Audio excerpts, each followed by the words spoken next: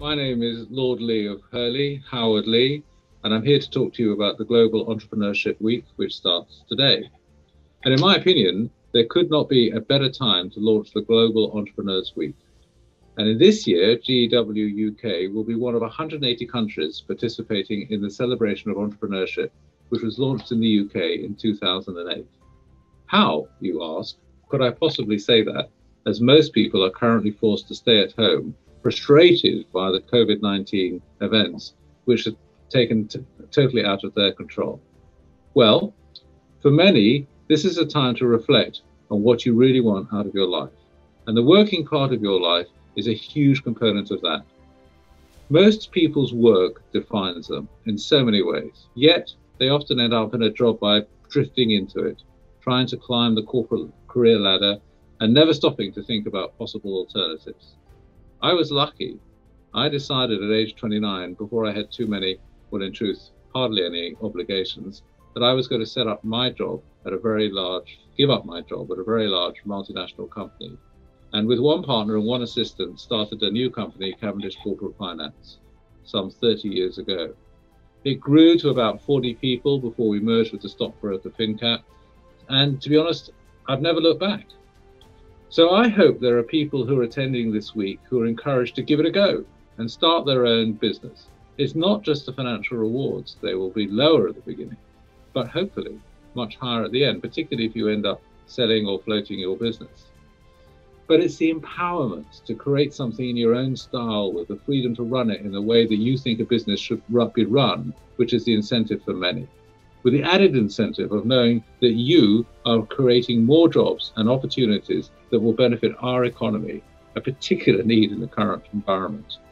It means you can, in parallel, pursue other dreams, be it in politics like me or other lifestyle activities, without a boss seeking to deny you that opportunity.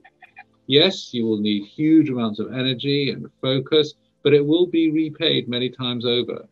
And it's important that everyone feels they can do this, which is why GEW UK 2020 has one of its main themes a focus on diversity and inclusion.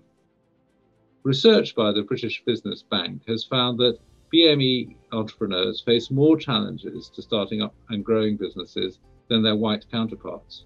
BME entrepreneurs' median turnover is £25,000 as opposed to £35,000 for their white counterparts. The reasons for this are complex and to do with race, gender, geography, income, all of which shape individual entrepreneurs' experience. The government is trying to help.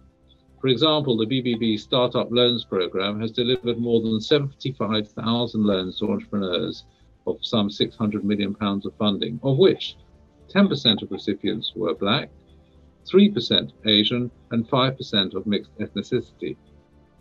The Commission on Race and Ethnic Disparities is trying to understand the disparities between different ethnic groups to promote equality and diversity.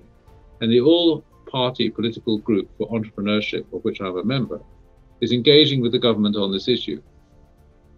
The excellent Exchequer tre- Treasury Secretary of the Treasury, Kemi Badenoch, MP, who was born in Nigeria, is fully focused on this issue. So it really doesn't matter who you are or where you come from. If you have an idea or a passion or a determination that this is the week to turn it into action and make it the most important decision of your lifetime, certainly the most important business decision to start your own enterprise. The UK economy desperately needs new entrepreneurs. And while I'm critical of some aspects of the government's decisions, such as withdrawal of entrepreneurs relief, promoting this week with the Kauffman Foundation is to be applauded.